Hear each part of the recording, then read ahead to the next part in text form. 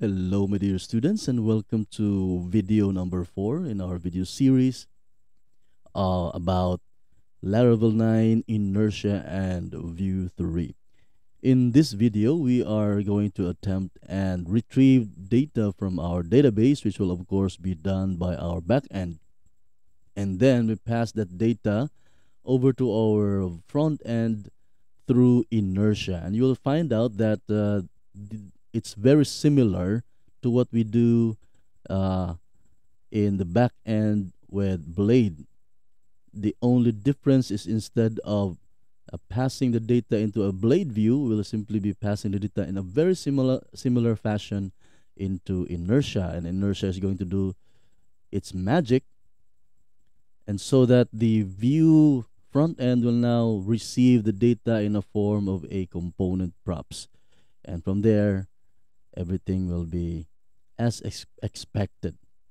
Okay so let's get to it. Going back to our uh, VS Code and we'll be opening up firstly our recipe controller.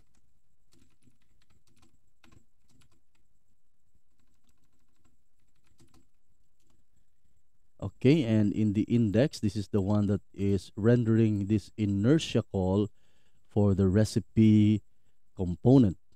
Now before we return that uh, render into the inertia we are going to retrieve our data in the same way we do in the back end. So first let's assign this to a variable called recipes. And then we'll just call on recipe. And uh, we are going to just get it just right there and then all we have to do is pass it in just like we do with blade.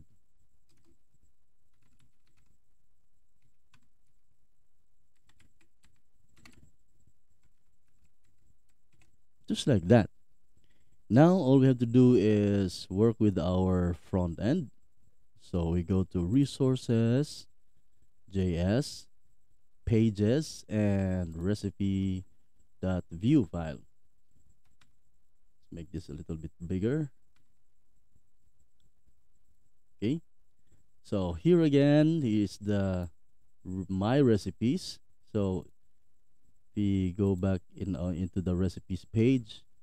You'll find out that it's really just this blank uh, thing right here. And also let's just try and uh, get the data as a props again. So in in our options API script you can just add a comma here and we say props. Just an object and here we'll be receiving the props recipes which is just an array. Okay so now we can use these recipes props into our template. And for now let's just display it as a list. So we'll have a ul and then below will be an li which will have uh, v-for we'll have recipe in recipes. And of course we'll have our key being recipe.id and inside of here we'll just display the name of the recipe okay let's see and there we go. We have two recipes, sinugbang bangus and lugaw.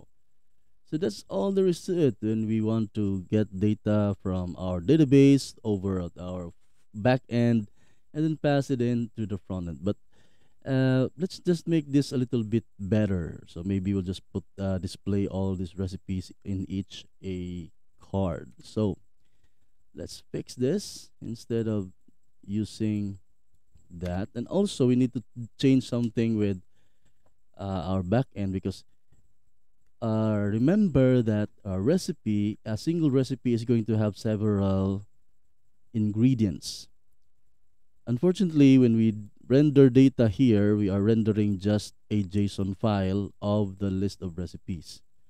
And we don't have that um, uh, eloquent. It's no longer an eloquent therefore we cannot uh, go down deeper to its relationships when we reach the front end. So in order for us to be able to send the ingredients together with the recipes as a json data we have to do something here. So instead of just getting the recipes we will include the ingredients. And if you take a look at the recipe model just have to make sure that we do have this relationship here called ingredients which is that this recipe has many ingredients because of that we can use this to attach the ingredients uh, into the recipe using the with function. So all I have to do is add a with and then here the relationship name which is ingredients. And now the recipes that we are passing into the inertia render will have the recipes together with uh, the ingredients of each recipes. Because of that we can now use recipes into our front end. And again we're going to use a, a card for this. So maybe we can put this into a div with a flex display. And perhaps we'll set the uh, align content or is it justify content uh, between?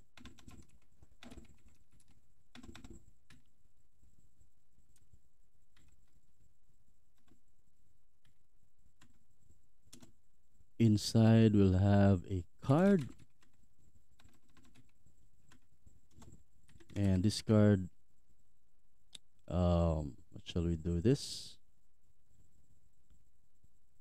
inside we'll have a card header wherein we will put our title. And then we'll have a card body.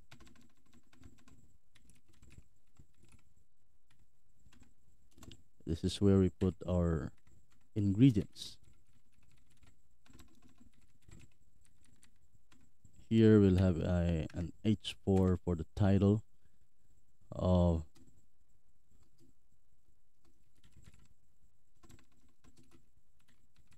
recipe name will be there. And in the ingredients we'll have a list of ingredients.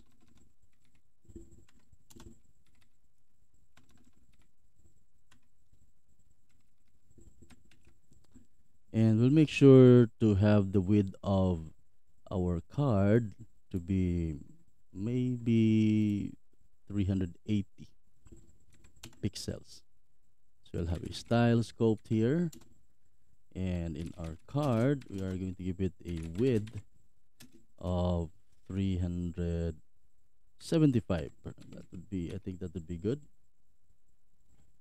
And also we'll give it a margin oh uh, well you can just put the margins on as classes. So we can do mb3 for our margin bottom okay and if you take a look okay that's how it's gonna look like. Looks good. And we'll just maybe give this a background of info.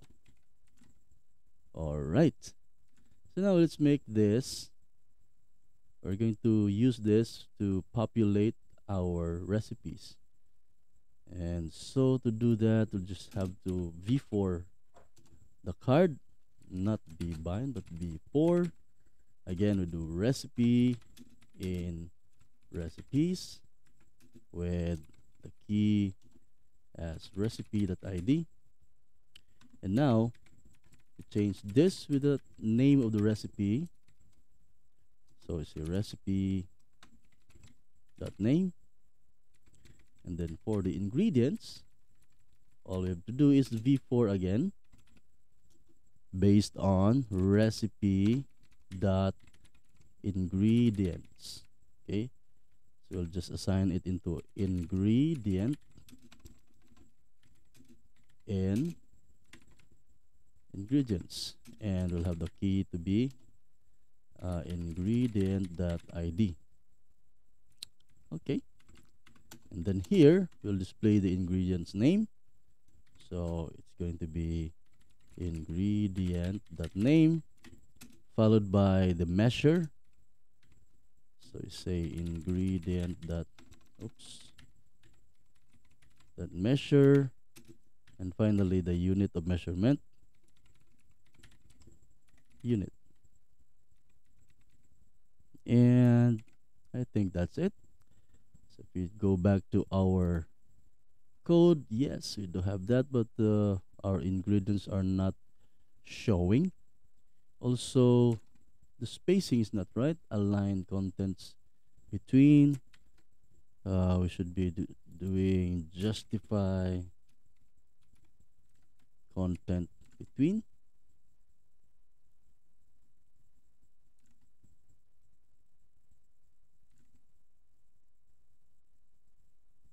not working still justify content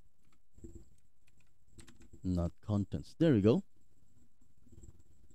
So now we see that our recipe is being displayed together with our ingredients. And you have to remember that these data are coming from our database.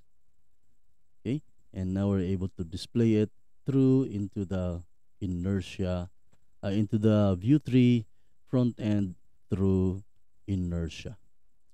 So that's it for this video. Thank you for watching and see you again in the next one. Bye bye